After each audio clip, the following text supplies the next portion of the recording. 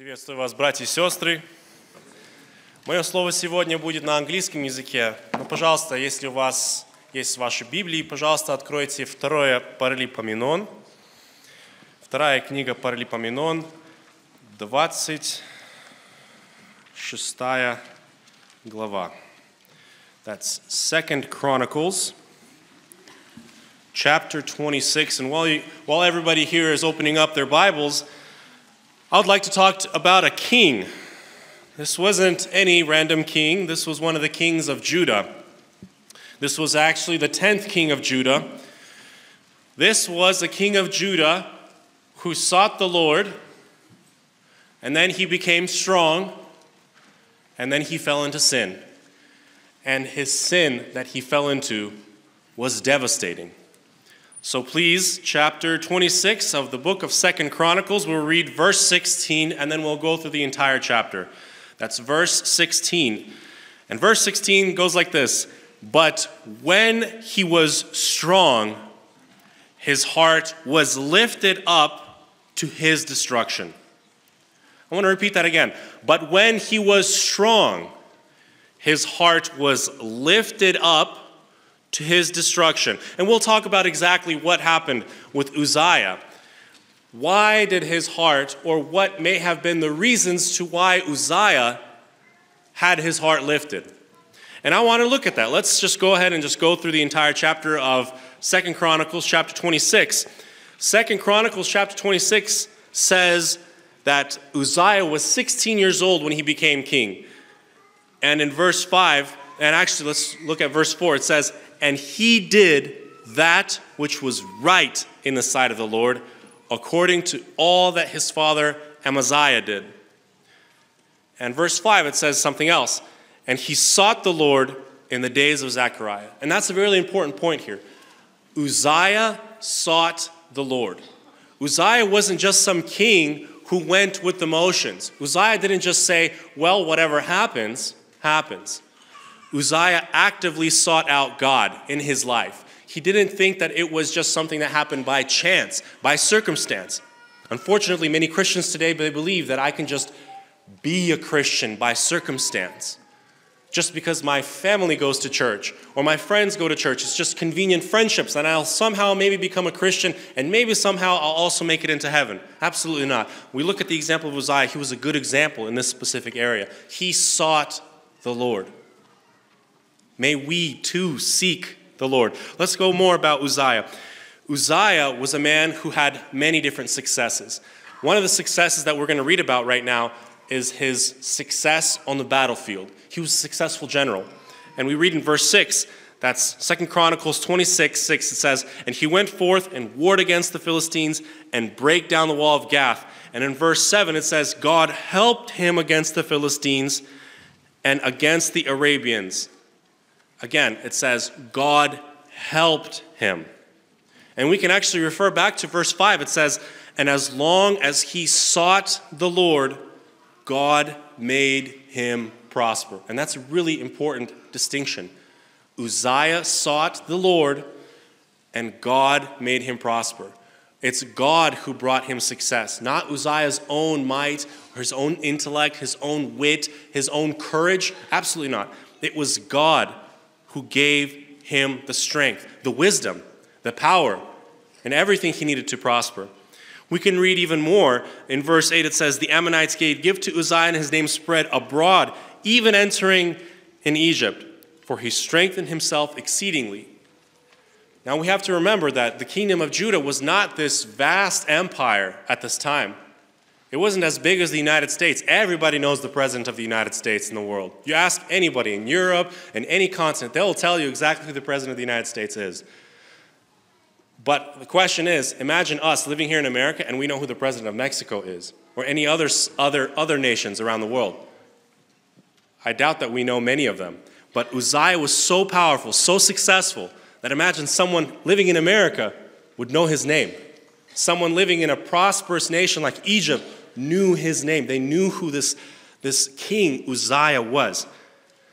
We further read about Uzziah and his financial success, and this is also a really important distinction. Uh, we read in verse 9, it says, Moreover, Uzziah built towers in Jerusalem and on the corner gate and at the valley gate and the turning of the wall and fortified them. He also built towers in the desert and digged many wells, for he had much cattle, both in the low country and in the plains, husbandmen also, and vine dressers in the mountains, and in Carmel, for he loved husbandry. Why is this an important point? Why is this in here? This verse is in here to show that his, he had financial backing. Uzziah wasn't just someone who was barely making it by. He wasn't a poor king by any measure. He was very successful financially. And his financial success allowed him to build towers, allowed him to fortify the holy city of Jerusalem. It allowed him to expand his wealth greatly.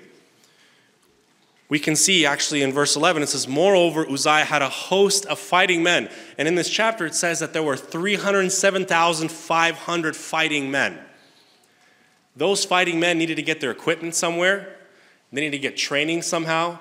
And Uzziah's financial and military success allowed him to have 307,500 fighting men who were well equipped.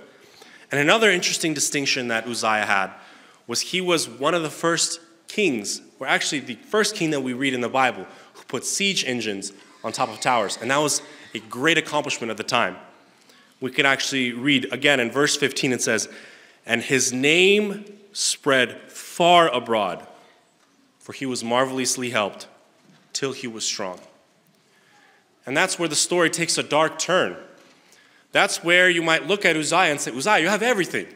You have a kingdom, you have military success, you have financial success, you are seeking out the Lord, the people of your nation love you. You are, in essence, an amazingly perfect king. There is nothing that you can do to ruin this if you really think about it. You have everything is going your way. Unfortunately, the success that Uzziah experienced brought him to a sin, and we can call that sin pride. Again, verse 16. But when he was strong, his heart was lifted up to his destruction for he transgressed against the Lord his God and went into the temple of the Lord to burn incense upon the altar of incense. For those of us who read our Bibles and are familiar with what goes on in the temple, we understand that random people can't go inside the temple and burn incense.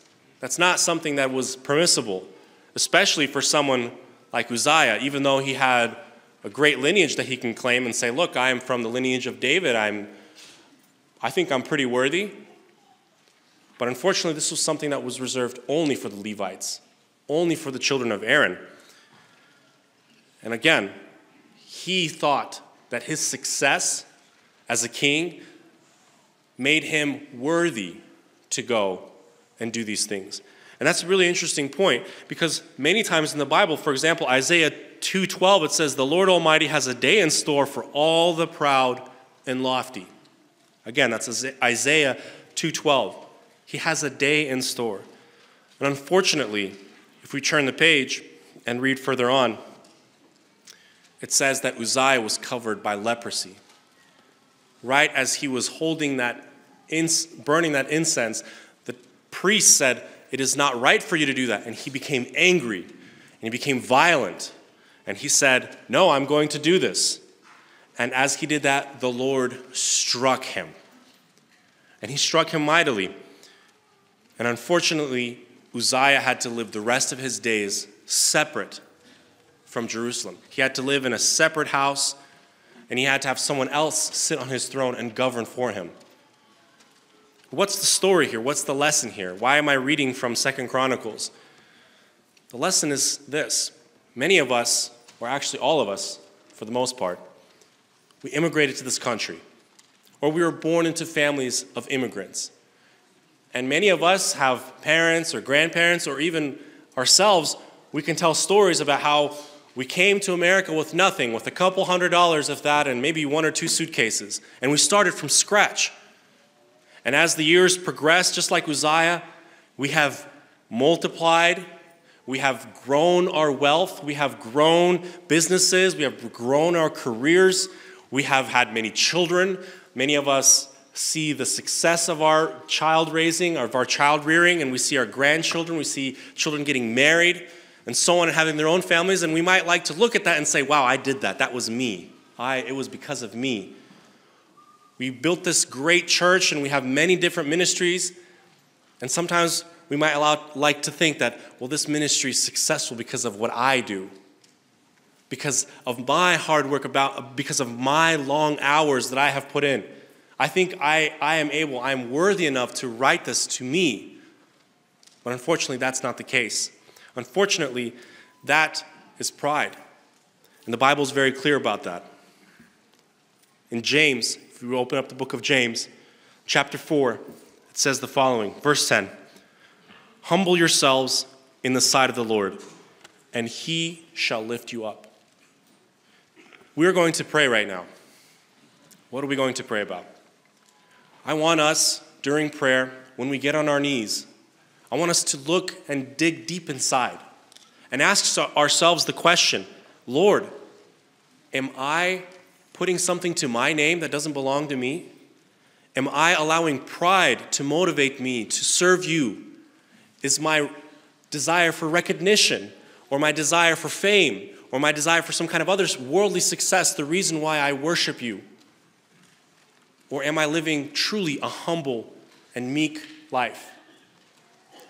May God help us to hear his voice, to know when we are walking astray, lest we be punished like Uzziah. Uzziah's punishment was terrible.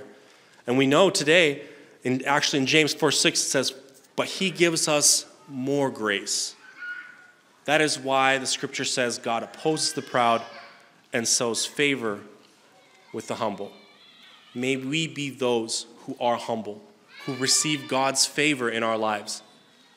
But that requires us to bow down on our knees and request for the Lord to show us, to humble us, and, and repent if we do show pride. Let us pray. Amen.